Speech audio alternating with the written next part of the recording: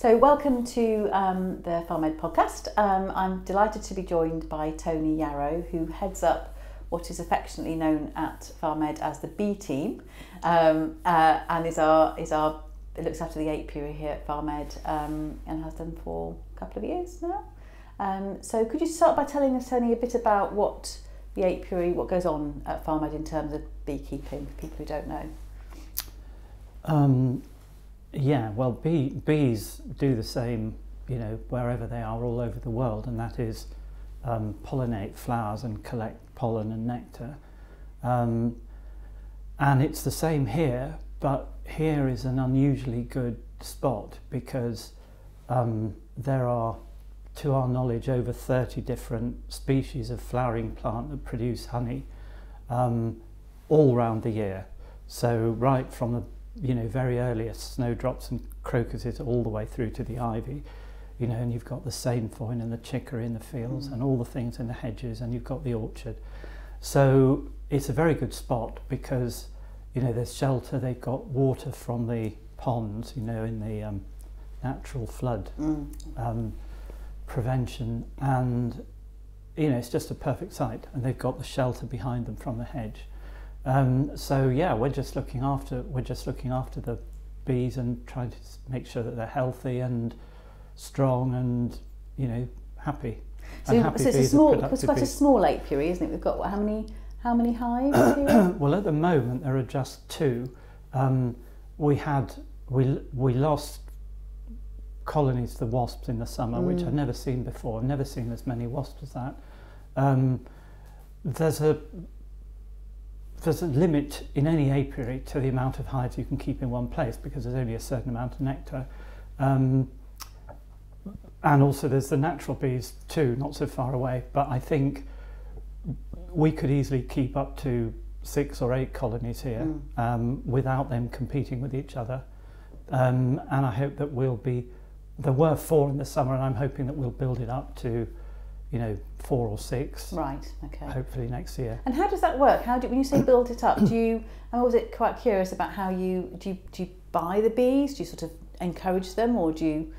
Well, you could, but um, what you do is every year, um, bees like to swarm, mm. and they like to swarm because um, bee colonies die, and the way that the colony reproduces is by swarming, which means it breaks in half and um, if you don't manage that, then the swarm goes off. And that's bad from two points of view. One is that you've just lost half your bees, mm. and the other is that um, it might fetch up in somebody else's roof um, or somewhere else antisocial. Mm. And you know that's a problem for the person who suddenly got a load of bees in their roof that they didn't want. So I think from a social point of view, it's responsible to, to manage swarming and um, also, you know, we don't want to just lose 10, 15, 20,000 bees. Mm.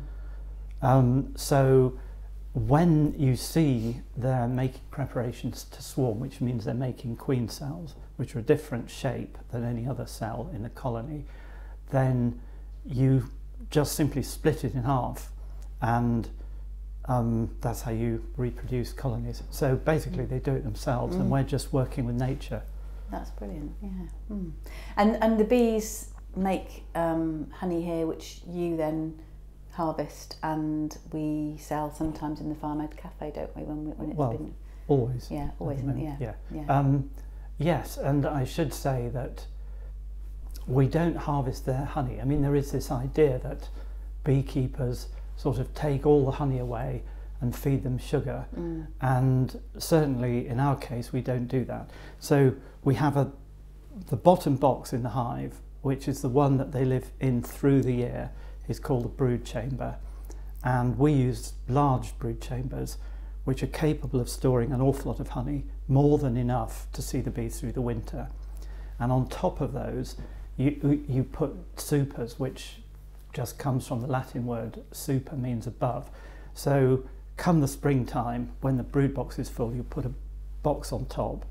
And sometimes you might put quite a lot of boxes if it's a very good season. Um, and we extract the honey from the supers, if there is any, and we leave everything below to the bees. So it's like we're only taking surplus honey when there is surplus honey. Mm. And if there isn't surplus honey, I mean, I see it as a partnership between us and them. You know, if they have a really good year, they've got enough for themselves through the winter, and we've got the surplus. Um, if it's a really bad year, they might not have enough for themselves, and we'll make sure that they have enough to get through the winter, Mm. and we won't get any. So again, it's, it's working, kind of working with them. That's the Yeah. idea. Yeah, Yeah. yeah. Um, Okay. So can you, if we just rewind a little bit, can you tell um, tell us how you, how and why you got into into beekeeping in the Um, first place? well, yeah, I was I was living on a commune in a place called Llanarth in Wales in 1975, and um, one afternoon I was looking for I was looking for something in a in a one of the barns, and I came across an old beehive, and in this beehive were the frames with the with the combs, the honeycombs, and I just saw the wax, the you know the way they make the cells in the honeycombs, and I was just thought this is amazing. It's extraordinary. I mean, they make the the cell, cells are he- hexagonal, so that's a pattern that can just repeat itself, and you know they've got cells on one side, cells on the other side, a sort of sheet of wax in the middle. It's beautiful. You know, it's simple and it's amazing and it's strong. And it isn't even that, I mean, that's amazing, but there's even more amazing. You've got the worker cells and the drone cells. Now, drones are bigger than workers, they're the males. So the drone cells are bigger than the worker cells. And they have to, but they're still hexagonal, and they have to fit them together. And the way they do that is just amazing. You know, it's extraordinary. How do they know? How do these little creatures that have only been born like three or four weeks ago, how do they know to make these hexagonal cells in two different sizes? So immediately you're thinking, goodness gracious me, you know, this is like you've suddenly arrived in Narnia or something. There's this, um, this world that you knew nothing about. And, you know, within about a week, I was like, I want to be a I want to be a beekeeper. No, I want to be a commercial beekeeper. You know, I want to spend my life with these amazing little insects. You know, and I was reading lots of books about it, and this was nearly 50 years ago. Mm. So you've been keeping bees for 50 years? I had a break in the middle because I was very. We have four children, and I had a business which I started in '92, and um, it just got. I just got too busy. Mm. So I had a bit of a had a few years off, but I think I always knew that I would come back to it, and I Mm. came back to it about 15 years ago. Mm. So how, I mean, how, e- how sort of time consuming and how easy is it to get into? And if someone who's listening to this thinks I'd like to start keeping bees, um, is it something, obviously something you, you find very rewarding and that you, you love, but how, how difficult is it to get going and make it work? Um, yeah, there's several questions there. I mean, it it can take as much time or as little time as you want to, you know, and the real sort of enthusiasts would like to spend all their time doing beekeeping. But in the winter, you know, they're in the hive, they're clustering. Um, there's nothing you can do to help, and there isn't really anything much needs to be done between now and March. You can mend things, you can make apiary stands, you can Mm. do all sorts of things, but the bees are all right for about six months of the year, from let's say the end of September through to sometime in March. So that's quite good because the season is very intense, Mm. but there's a quite a long off season, and So what is, what is the season? What is well, the season depending on the you know the weather some there are early seasons and late seasons but on the whole um, by the middle of April your decent colonies will be ready to store surplus honey Mm. so you need to start thinking about putting supers on um, and not long after that they will start thinking about swarming. And that swarming season has come forwards in the time I've been beekeeping. Normally in the good old days quote unquote um, you wouldn't see signs of swarming till the middle of May but now it's it can be as early as the 20th of April say. So, so that's so you've got to be a bit vigilant really Mm. from then on. And then the season you know you take the second lot of honey off in August, you'd check Varroa, you'd check if they've got enough stores. You know, it's all done by the end of September mm. at the latest. Now, to the question about is it easy to get into? No, it isn't. It's um, it isn't because there's quite a lot of equipment that you need, and there's quite a lot that can go wrong.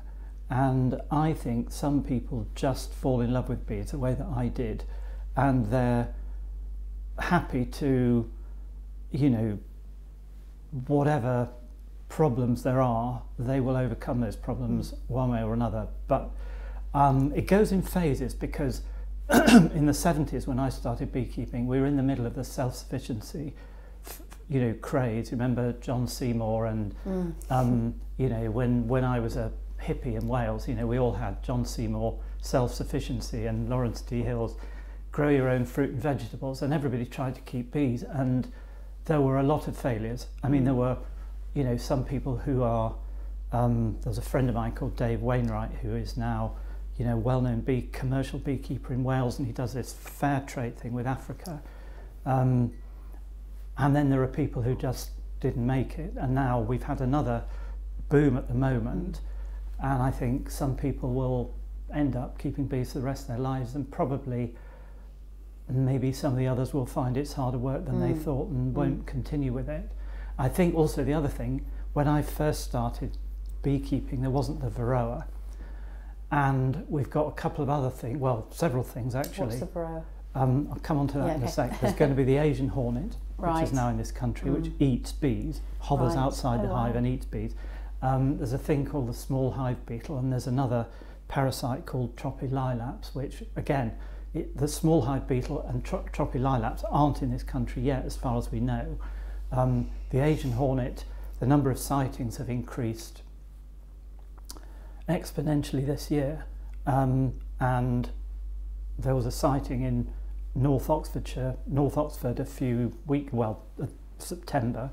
Um, so there are these extra challenges apart from you know mm. the seasonal ones and the swarming ones, ones, and the mm. disease, the diseases that were here already. Um, so I think it's not for everybody, but mm. you know if you care that much, you'll cope with the mm. stuff that life throws at you. Mm. Um, Varroa is a parasite of honeybees, and it's a very pernicious one. Um, was first discovered in Java in 1903 and it's gradually spread around the world with globalization and it was introduced into this country accidentally about 30 years ago um, and a varroa if you were a bee the varroa is about the size of your fist um, and they get they ride around on the honeybee sucking their blood um, and they get into the brood cells and then they the female mite parasitizes the larva and then has her babies, which also feed off the larva, and when it becomes a pupa, and then the the bee is born deformed. Sometimes it'll only have one wing, or right. not the right number of legs, or it's just weak, and then they become subject to other diseases. Mm. So varroa needs to be coped with, and we're still learning how to do it. Mm. Um, mm, you know, in yeah. in in Asian countries where they've had varroa for hundreds, if not thousands of years, the bees have learnt to cope with it, oh, and they wow. groom the varroa off each other, and Goodness. they manage that the mite and the host live together. But with globalization, you get this thing introduced that the bees have no experience what of. to do. Yeah. And then, um, you know, they're they're mm hopelessly vulnerable mm. because they've just not learned how to cope. Yeah. So, so what do you what do you find? So I mean, just just hearing you talk about even that, bees are obviously such fascinating creatures, aren't they? What what do you find particularly fascinating about them? Well, they're millions of years old for a start. Mm. Um, they've got an extraordinary social organisation. they can tell each other where flowers are two or three miles away how to go and get them. Um, you know, there's the whole swarming thing. Um, they're just extraordinary, and I think that it's one of those subjects where every every season is completely different from the last one, and you're always learning. I mean, it's one of those subjects where the more you know, the more you realise that you don't know. And I'm not just saying that. Um, here's an interesting thing. Um, in the Chippy News this month was a photo by another beekeeper in Chipping Norton called Paul Emden, who I know quite well. Um, and it was of a colony that had made its combs just in the open. And there were these combs in the open. And that was strange because, and he said he'd never seen it before. Well, in this, in this apiary down here, we had a colony that made it, that, a swarm that made a nest underneath one of the beehives. I remember. So there were bees in the hive and there were bees Under the underneath the hive. hive. so Paul, who's been keeping bees for 20 something years, um, had never seen it before and I'd never seen it before either. But in the same year, suddenly these their own, swarms started making their nests their outside. houses. Now, what happened to ours was, I think, at a certain point in August, they just decided, you know, this is too much hard work being outside, and they all went back into the hive that was upstairs. They sort of begged their way in, Oh leaving the combs empty. They're just gone. So That's I'd never seen that before. Um, this year I saw bees foraging on blackberries, not on the flowers, which they do, but on the actual fruit. wow. And in our garden there were bees foraging on the um, figs, which I'd never seen before. So there were another two things I'd never seen before this year.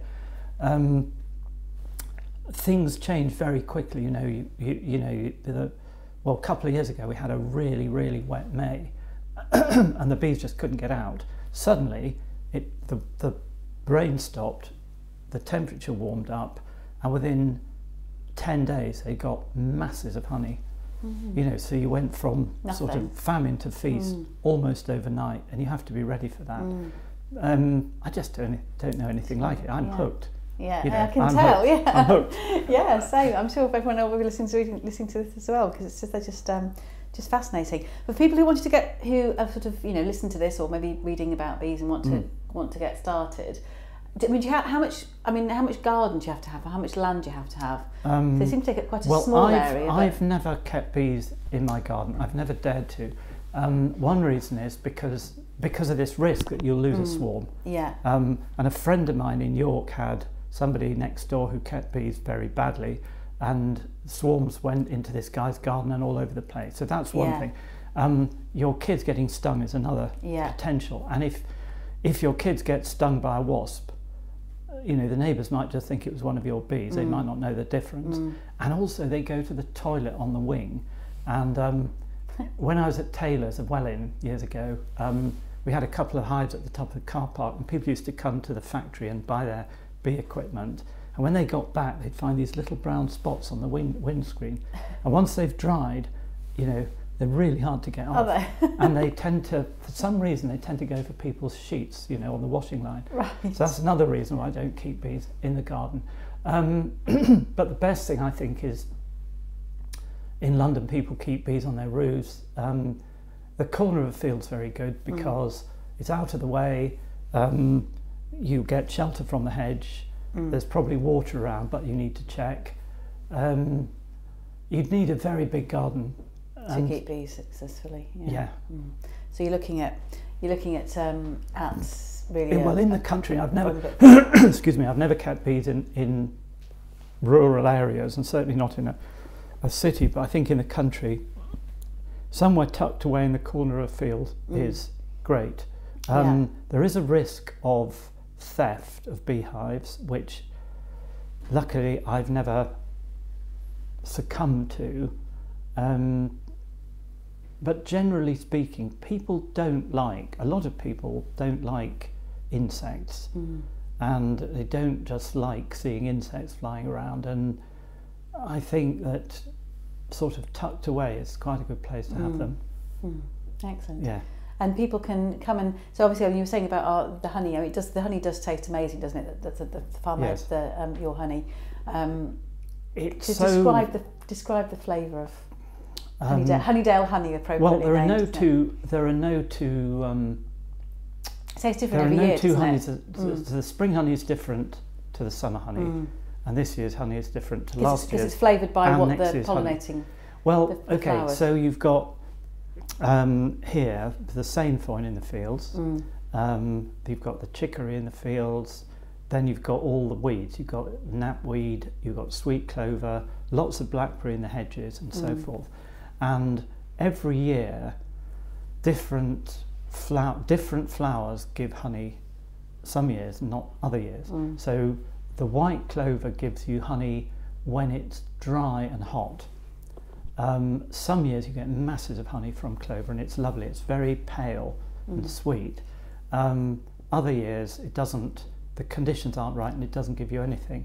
Uh, blackberry is quite is probably the most consistent yielder, um, but you never get the same mix twice Mm. because all of them produce more under certain conditions and other conditions. Mm. Um, sweet clover seems to be incredibly prolific some years, um, also known as yellow melilot. Some years it's really prolific, others others it Mm. isn't. So you just, you know, you're, if you did a pollen analysis, you can tell um, how much of what is in what, but it'll never be the same twice. Mm. Um, but I think the general thing is that it's it's a mixed floral honey, Mm.